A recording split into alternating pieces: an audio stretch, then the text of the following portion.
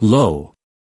Allah graspeth, holds, the heavens and the earth that they deviate not, so that they do not move from their actual place because of the enormity of the claim of the Jews and Christians when they maintained 497 that Ezra and Jesus were the sons of Allah, and if they were to deviate, and if they were to move from their actual place, there is not one that could grasp them after him. Lo! He is ever clement, despite the claim of the Jews and Christians, forgiving, he forgives whoever repents of them. إن الله يمسك السماوات والأرض أن تزولا ولئن زالتا إن أمسكهما من أحد من بعده إنه كان حليما غفورا. وأقسموا بالله جهد أيمانهم لئن جاءهم نذير ليكونن أهدى من إحدى الأمم. فلما جاءهم نذير زادهم إلا نفورا. استكبارا في الأرض ومكر السيئ ولا يحيق المكر السيئ إلا بأهله. فهل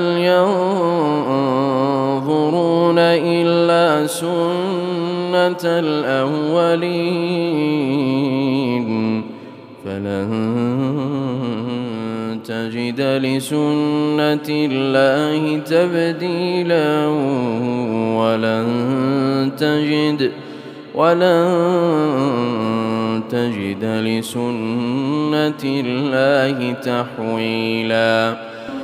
أولم يسيروا في الأرض فينظروا كيف كان عاقبة الذين من قبلهم وكانوا أشد منهم قوةً وما كان الله ليعجزه من شيء في السماوات ولا في الأرض إنه كان عليما قديرا. ولو يؤاخذ الله الناس بما كسبوا ما ترك على ظهرها من دابة ولكن يؤخرهم إلى أجل مسمى. فإذا جاء أجلهم فإن الله كان بعباده بصيرا Have they, i.e. the disbelievers of Mecca, not traveled in the land and seen, and reflect upon, the nature of the consequence, the punishment, for those who were before them, when they disbelieved in their messengers, and they were mightier, in physical strength, than these in power, and had more children? Allah is not such that aught in the heavens or in the earth, of creation, escapeth him. Lo! He is the aware, he knows his creation, the mighty, he has power over them.